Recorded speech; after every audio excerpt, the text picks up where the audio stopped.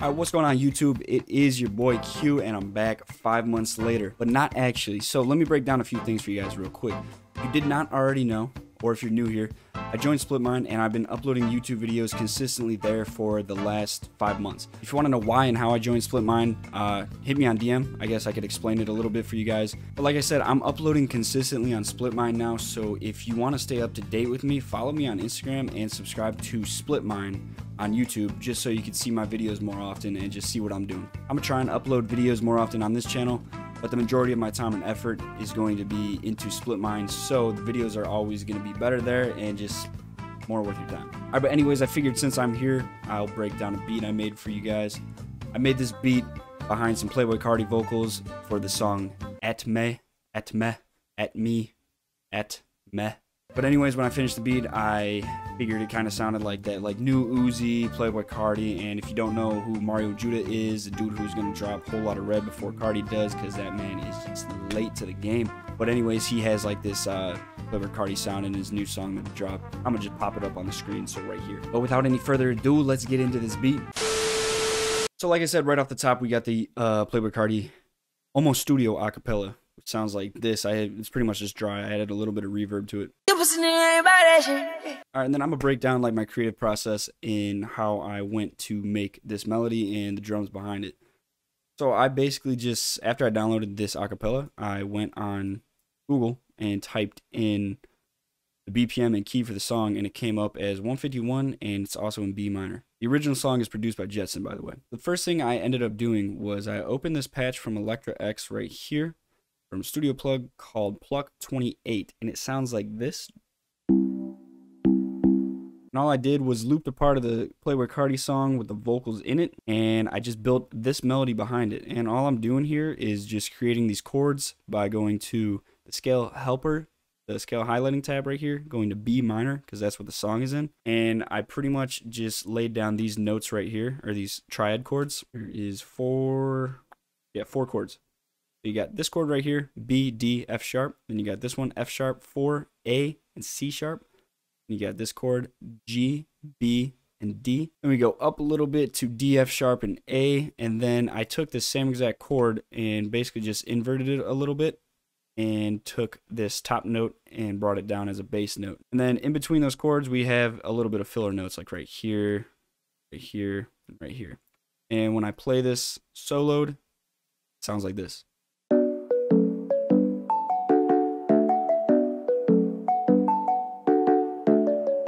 Yeah, you kind of get an idea for what I was going with that. And then the second thing I did was I pulled up an instance of addictive keys, just the normal patch, and I started going around and just clicking in some random like top melody notes.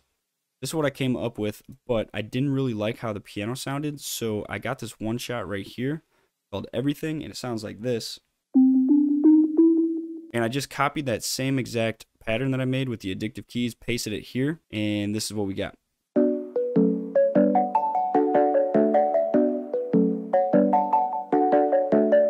You can see it kind of just added like some top melody there, just added some higher frequencies. Next thing I was really feeling was like this pad sound, like right at the end of the second bar.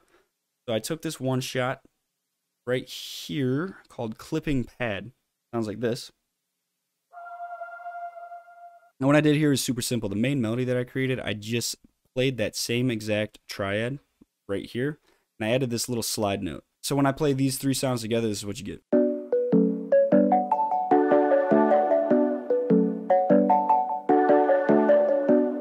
You can hear that pad in the background. It kind of has that high end, and then it glides back down to that lower note. Next thing I added was a simple pitch bend. It's a one shot, and basically what a pitch bend is, is exactly what I did with that pad. When you take a note, and have it slide down to a lower note. So when I play that with the other three sounds, you get this.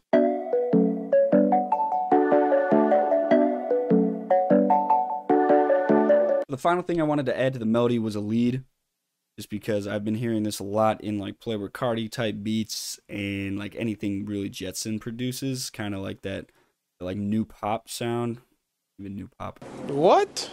But anyways, it's a one shot that I got, and it sounds like this. Yeah, it's kind of just a lead, but I guess it's a flute, and I played this pattern right here.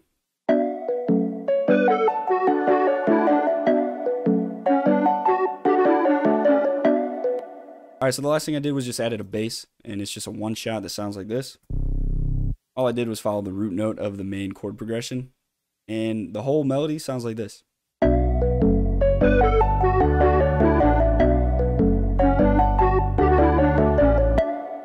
All right, so after the melody was finished, it was time to move on to the drums. The first thing I actually did was the clap and then the hi-hat. So I'll play those two together.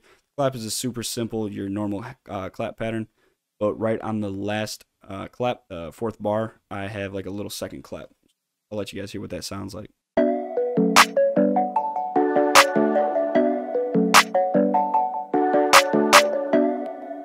Add the hi-hat in.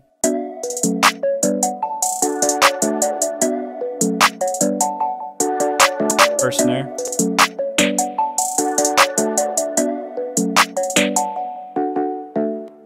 And then I added one more snare.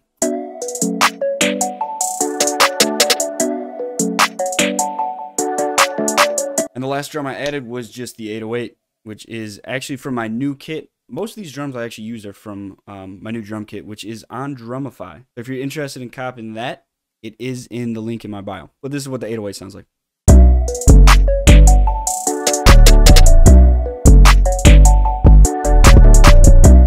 Super cool pattern, a little unique, and I added a uh, little like reverse 808. And then the only thing left to do after that was to just add in the acapella, and this is what everything together sounds like.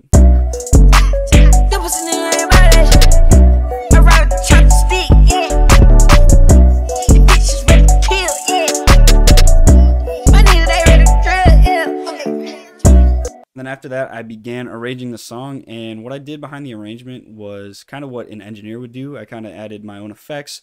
So I added some like cool delays, some cool transitions, reverb transitions, and just a bunch of stuff like that. So I'll break down what I did for you guys. So the first thing I did was added this impact sound at right at the beginning. sounds like this.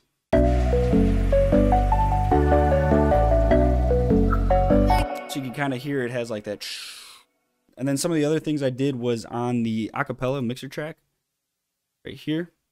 I added a um, this reverb right here and this delay eternity. And basically what this is for is during the part with the bass, which kind of works as like a breakdown and an intro in some parts, I have the reverb almost all the way up, so it sounds super spacey.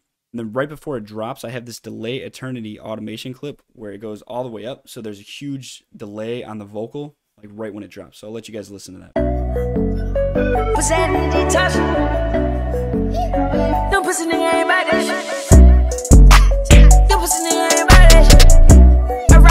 Then yeah, like I said, the rest of it was just uh, messing around with the arrangement of the song, making it sound good, and trying to make it sound with how I want the vocals to be. yeah, that is how I made the second version of At Me by Playboi Carti.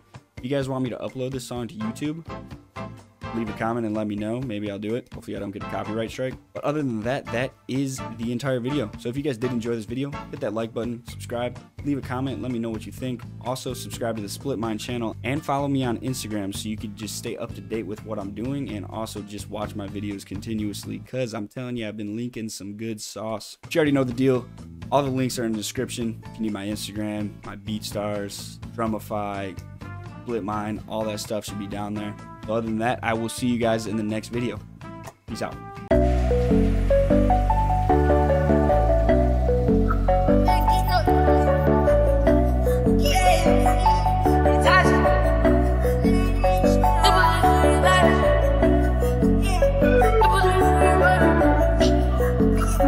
Sanity touch. Sanity touch. No pussy nigga ain't about that